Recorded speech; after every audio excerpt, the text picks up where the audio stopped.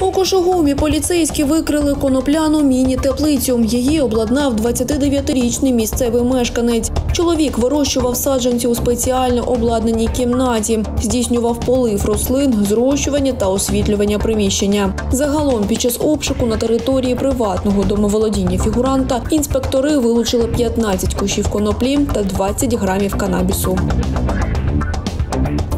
Активно борються правоохоронці зі зрадниками. До служби 102 надійшла інформація про двох підозрілих молодиків, які фотографували об'єкти критичної інфраструктури. Патрульні оперативно встановили особи фігурантів. Ними виявились місцеві мешканці. Під час обшуку юнаків вилучили шість смартфонів із фотодоказами. А під час розмови з патрульними вони зізнались, що здавали позиції збройних сил України задля власного заробітку.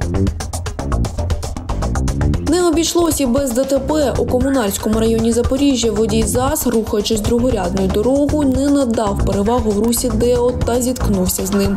У результаті аварії постраждалих немає, а на винуватця склали адмінпротокол.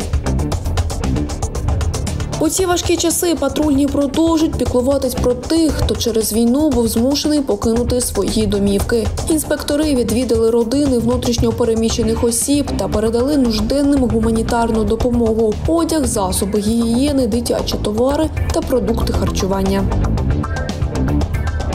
Затримали правоохоронці чергового грабіжника. 37-річний чоловік на пункті пропуску у комунарському районі поцупив телефон у місцевого мешканця та втік.